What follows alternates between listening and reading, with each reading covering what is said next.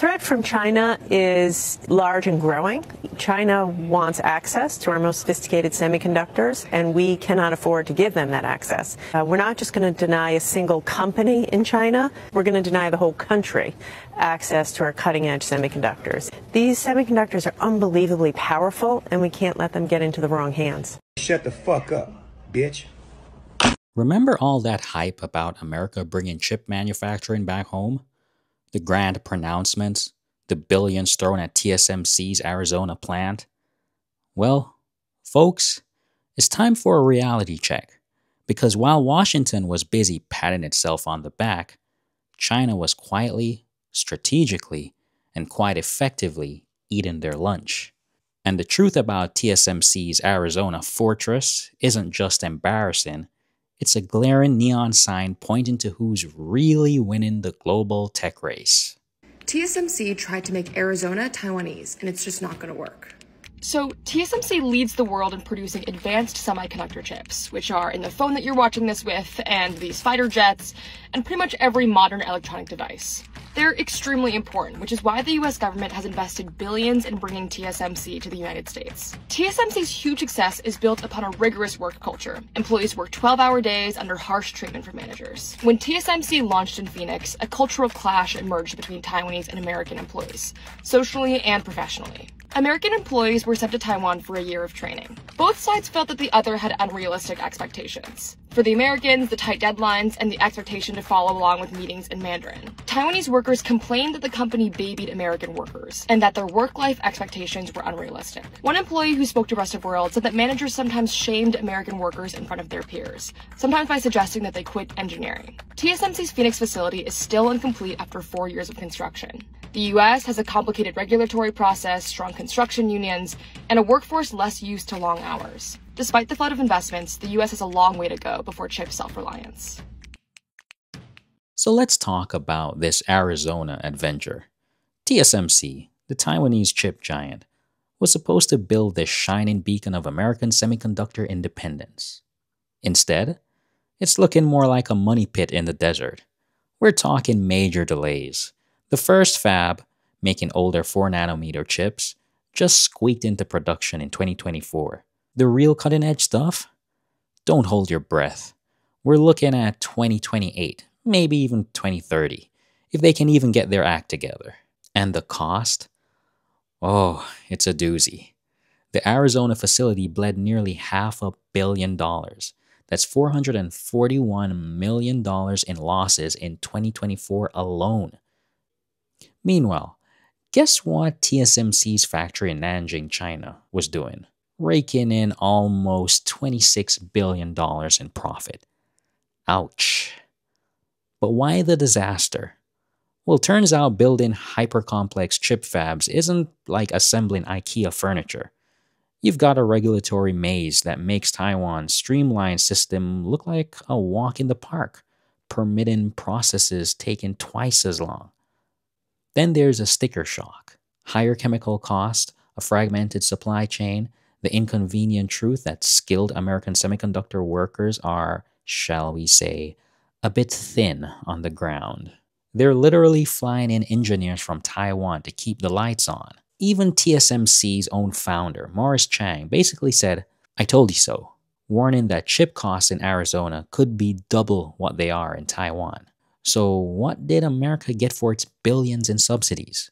One fab making older chips and maybe, maybe a slightly more advanced one by 2028. What it didn't get the crucial supply chain, the deep talent pool, or the sheer economic density that makes Taiwan's chip ecosystem a global powerhouse. It's not a fortress, folks. It's a consolation prize.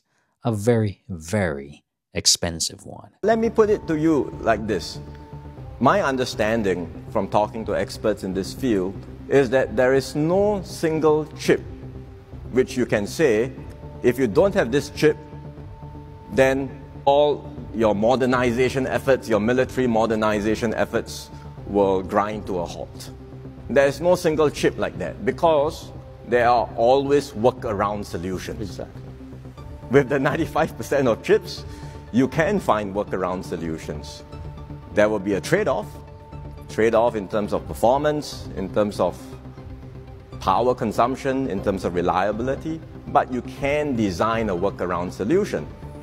This idea that having 5% of chips denying access will keep China down, I think is yes, it will slow down China's access to high end capabilities to some extent, but it's not going to keep China down forever. China will still be around, and America has to learn to live with China and coexist with China. And hopefully, the two countries will be able to find ways to manage their differences and live together. While the US was busy dreaming of desert fabs, China was playing a different game, a much smarter one. You see, Taiwan's chip empire isn't just TSMC, it's a sprawling network of companies ASE, SPIL, Unimicron, Nanya PCB, a spider web of support firms that are absolutely critical to chip production. And here's the thing a huge chunk of them are already in China. For decades, China offered these Taiwanese companies a second home.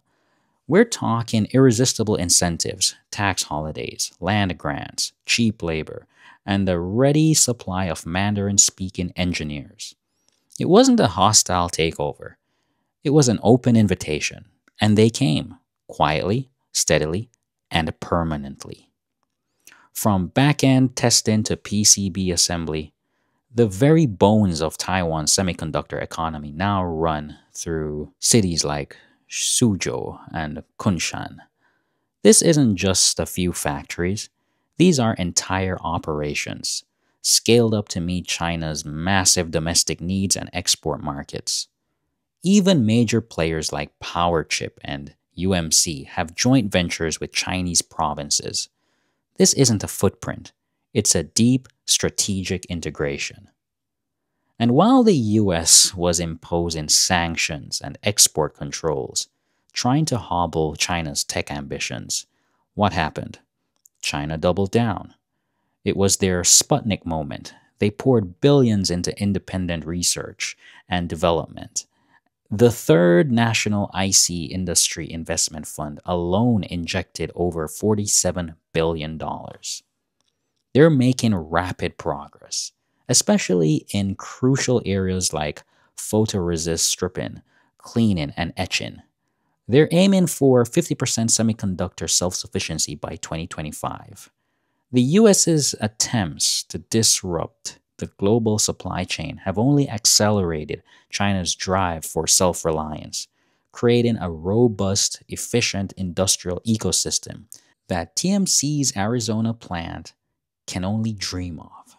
The reality is, Taiwan's semiconductor ecosystem is already dual rooted, one foot in Hsinchu and one foot in Jiangsu. Washington calls it a tech war, but in industrial terms, China has already absorbed half the kingdom without firing a shot.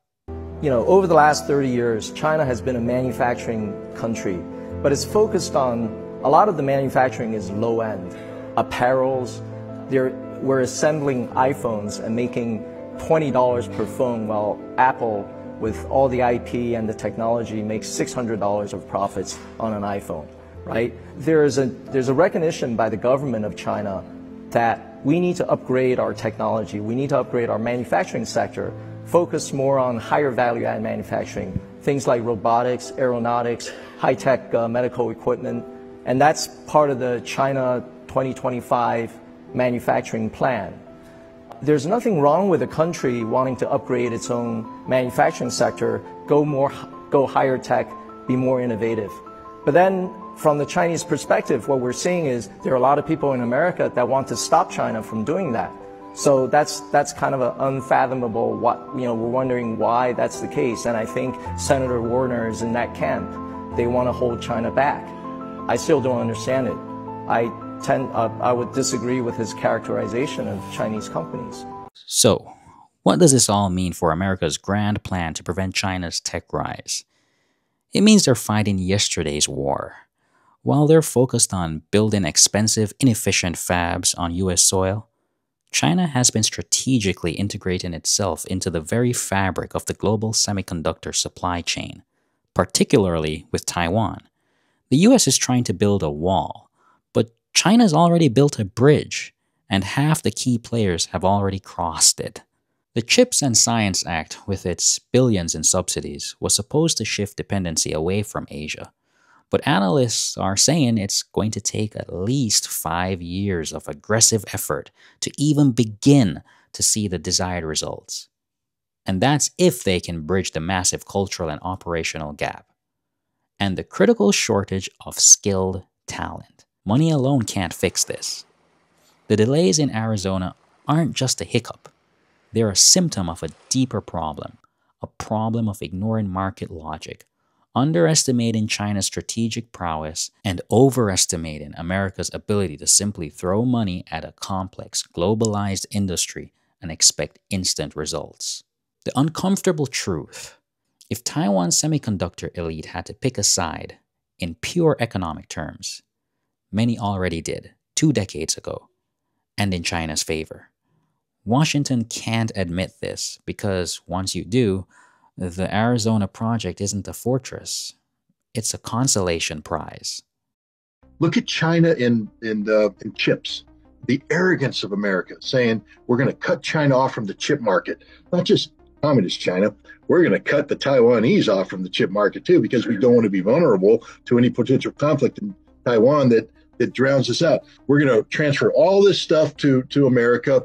We're going to tell the the Dutch you can't give their your specific lithograph uh, technology to these people. We're going to keep it ourselves because only we then can build.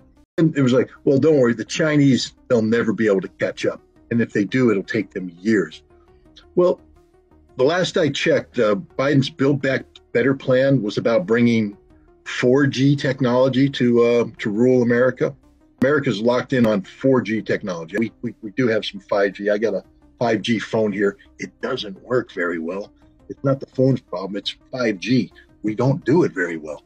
But uh, China's sitting there going, we, have deployed 5G everywhere. We got 6G down the road, and, and we're looking at 7G. And you're going, wait a minute, how can you do 7G with, with insufficient chip technology? China's, we sort of got this one figured out too. And they do they're producing the chips. The US is playing catch up, and frankly, they're not doing a great job. While they're focused on reshoring and trying to rebuild a supply chain from scratch, China has been quietly and effectively integrating itself into the existing global semiconductor ecosystem. They've leveraged economic incentives, cultivated talent, and absorbed key parts of the supply chain.